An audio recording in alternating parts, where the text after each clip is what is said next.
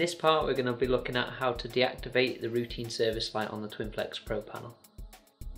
On the Twinflex Pro panel, sometimes when you appear on site you'll have the routine service light illuminated. I will now take you through the procedure to deactivate this light and switch it off from the system. To disable and deactivate the routine service light, you first need to enter your engineer access code followed by enter. You'll then need to come down to menu 9 which is panel details and then hit enter. And then come down to timers. This is where you can actually deactivate and reactivate the routine service light and the weekly test timer.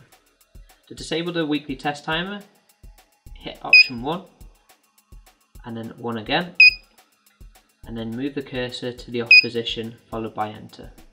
At this point you've got to make sure the write enable switch is activated or otherwise this message will appear.